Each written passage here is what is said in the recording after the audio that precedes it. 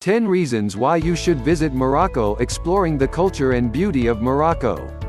Welcome to East to West Channel, the place you can find other places, other lives, other souls. If you didn't subscribe yet, you are missing out. Bordering the Atlantic coast and Mediterranean, bound by outstretching coastline, roaring canyons and a hint of the Sahara Desert, there are spoils of contrasting landscapes to explore in Morocco.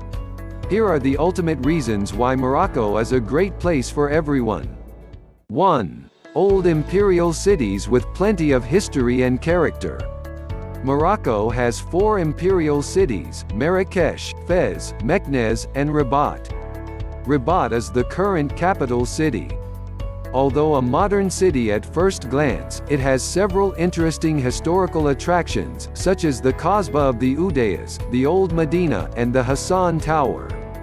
The former capital of Fez boasts plenty of stunning architecture, though it is perhaps most known for its large tanneries and for being home to one of the oldest universities in the world.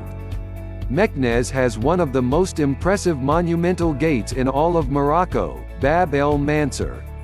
Horse-drawn carriages are a great way to explore the charming and relaxed imperial city. 2. Gorgeous beaches along the stretching coastlines.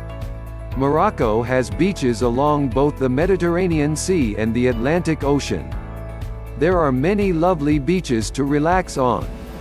Popular holiday spots with foreign visitors include Tangier and Agadir, while Asila attracts mainly locals and Spanish visitors.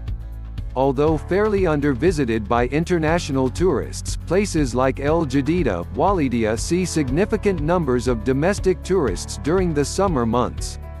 The most popular beaches typically have great facilities within easy reach, and some destinations, such as Essaouira, are perfect for lovers of water sports.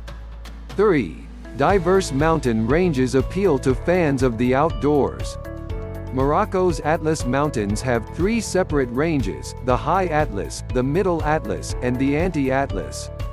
Each offers a variety of hiking experiences for people of all experience and skill levels.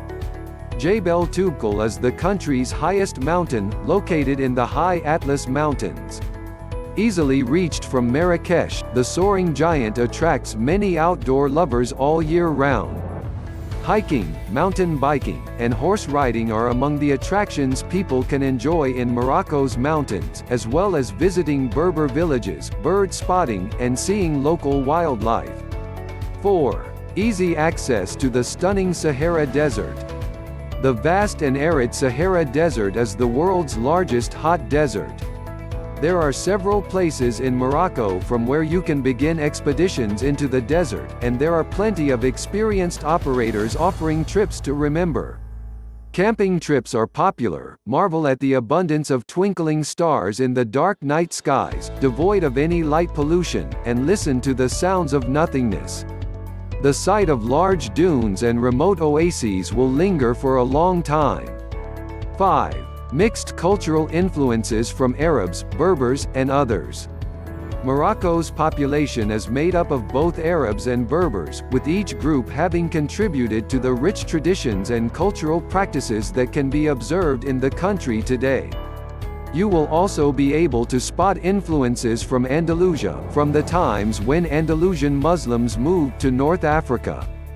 There are also legacies from the colonial era, with French, Portuguese, and Spanish influences seen in different parts of the country.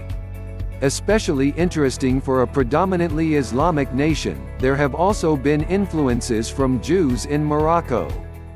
6. Exquisite architecture all around the country.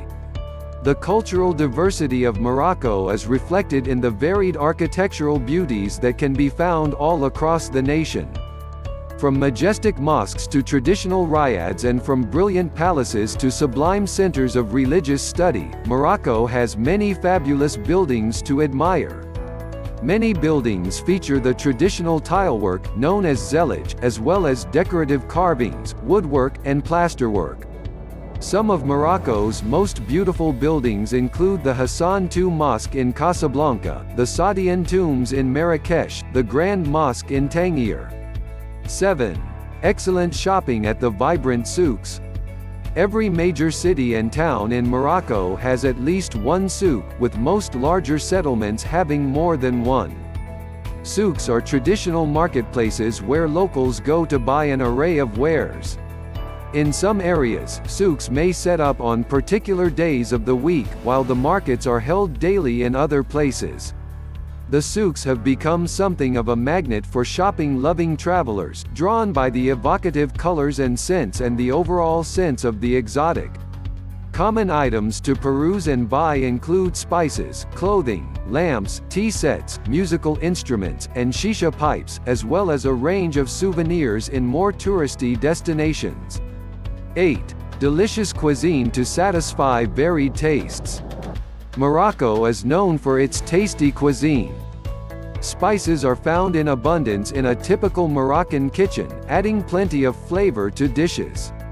Bread is a staple food, and there are various types, such as khobz, msemen, and begrir to enjoy.